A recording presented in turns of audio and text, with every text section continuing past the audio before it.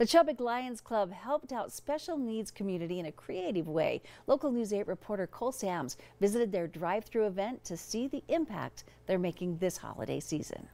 Here at the Red Lion Hotel, volunteers came out to hand out food, gifts, and we even got some visitors from the North Pole. Traditionally, the Chubbuck Lions Club holds a Christmas dinner every year for the special needs community, but due to COVID-19, the dinner could not take place. That didn't stop Daniel Parrish from finding a way to make this happen. These people, these amazing members of our community, I've grown up with them. They're my friends.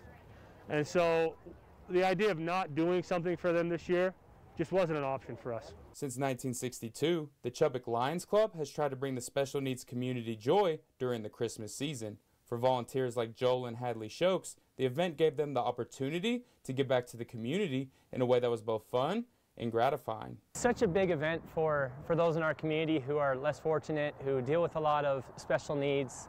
They're everywhere. They're wonderful people.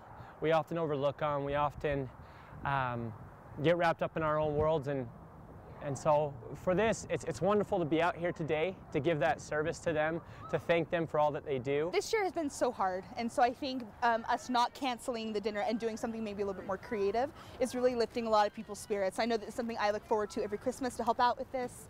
Um, because a lot of people rely on this dinner every single year as part of one of their Christmas meals, and so we want to help whoever we can. And for Parrish, being able to help those in need may be his favorite gift of the holiday season. Be able to be a part of the Chubbuck Lions Club, to see the support of this community, to have the help of the Red Lion, um, just all of the, the people that have come together to make this happen, to allow me to be here, to see my friends, and for each of us to serve and give.